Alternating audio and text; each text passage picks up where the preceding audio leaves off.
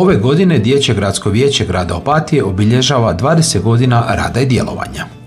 U prostorijama društva Naša djeca tim povodom održana je konferencija za medije na kojoj su dječji gradonačelnik Vito Juričić i vijećnice DGV-a Pija Petrišić-Ferlin i Dea Orlić te tajnica DND Opatija Sanja Škorić najavili aktivnosti kojima će se tijekom cijele godine obilježavati ova značajna obljetnica.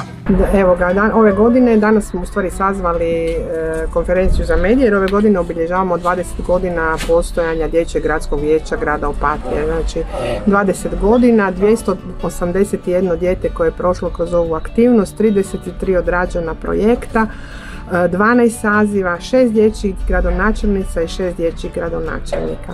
Godina će biti znači u znaku dječje participacije, dječjih prava.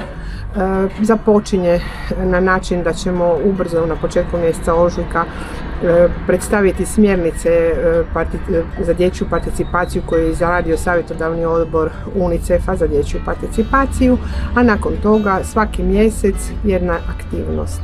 Pozivam svih da nas redovno prate na društvenim mrežama gdje će moći se prisjetiti kroz fotografije, izložbe koje ćemo imati na svoje odrastanje i svoje sudjelovanje u Dječjem gradskom vijeću grada Opatije.